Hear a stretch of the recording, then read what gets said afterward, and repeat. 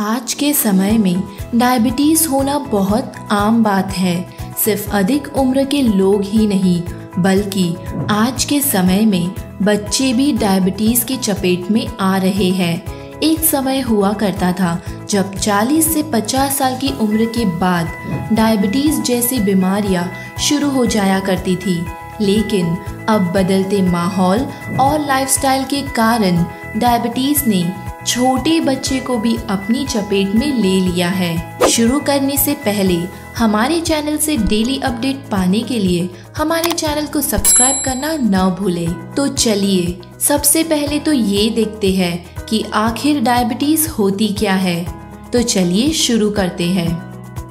Diabetes दो प्रकार की होती है, टाइप वन और type two diabetes.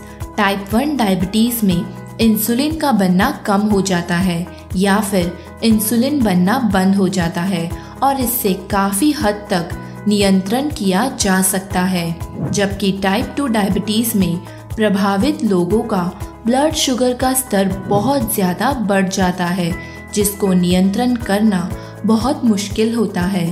Type one और टाइप टू डायबिटीज़ एक जैसे नहीं होते हैं, इन दोनों में बहुत अंतर होता है। तो चलिए अब देखते हैं, आखिर किस वजह से होती है ये डायबिटीज़ ये तो आप सब जानते ही होंगे कि हमारे शरीर की पेनक्रियाज ग्रंथि, यानी कि पेनक्रियाज ग्लैंड के ठीक से काम न करने या फिर पूरी तरह से बेकार होने से डायबिटीज़ हो जाती है। हालाँकि डायबिटीज़ होने के और भी कई कारण है, लेकिन पेनक्रियाज ग्रंथि इसका सबसे बड़ा कारण है। पेनक्रियाज ग्रंथि है डायबिटीज़ के लिए जिम्मेदार। दरअसल पेनक्रियाज ग्रंथि से तरह तरह के हॉर्मोन्स निकलते हैं।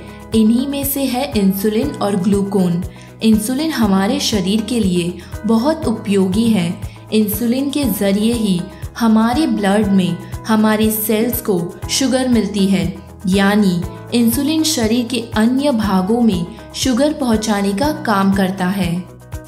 इंसुलिन हार्मोन का कम निर्माण होना। इंसुलिन द्वारा पहुँचाए गए शुगर से ही सेल्स को एनर्जी मिलती है।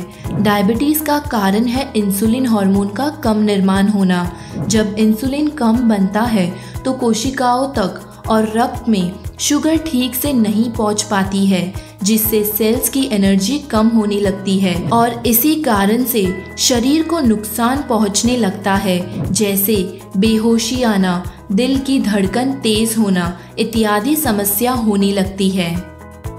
रक्त में शुगर का अधिक होना, डायबिटीज़ के कारण इंसुलिन के कम निर्माण से रक्त में शुगर अधिक हो जाती है, क्योंकि शारीरिक ऊर्जा कम होने से रक्त में शुगर जमा होती चली जाती है, जिससे कि इसका निष्कासन मूत्र के ज़रिए होता है।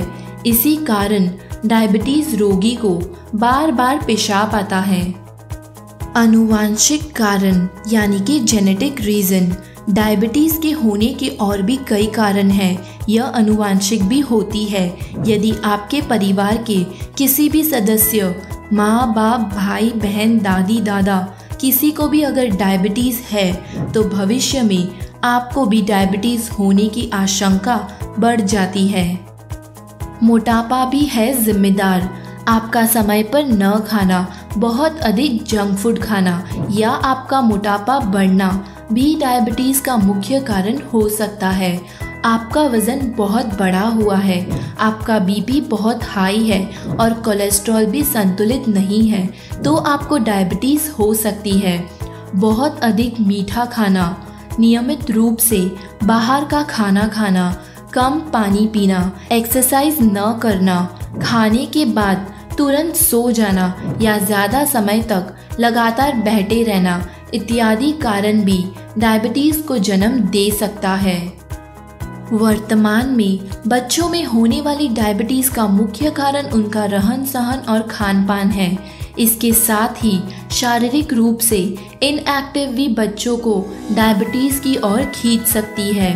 यदि आप चाहते हैं कि आप और आपका परिवार डायबिटीज़ से बचे तो उसके लिए हेल्दी लाइफस्टाइल अपनाना ज़रूरी है, जिसमें एक्सरसाइज और हेल्दी फ़ूड का इम्पोर्टेंट रोल है। अगर डायबिटीज़ से रिलेटेड आपको कुछ भी क्वेरी है तो कमेंट में ज़रूर पूछें और हमें ये ज़रूर बताएँ कि आपको हमारा ये वीडियो कैसा लगा। अगर आपको हमारा ये वीडियो पसंद आया तो प्लीज़ इसको लाइक शेयर और सब्सक्राइब ज़रूर करें। Thank you